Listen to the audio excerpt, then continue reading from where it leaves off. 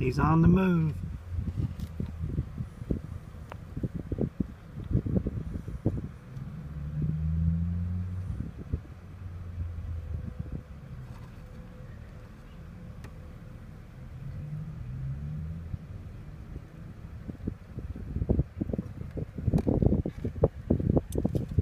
Where are you going, Hermie?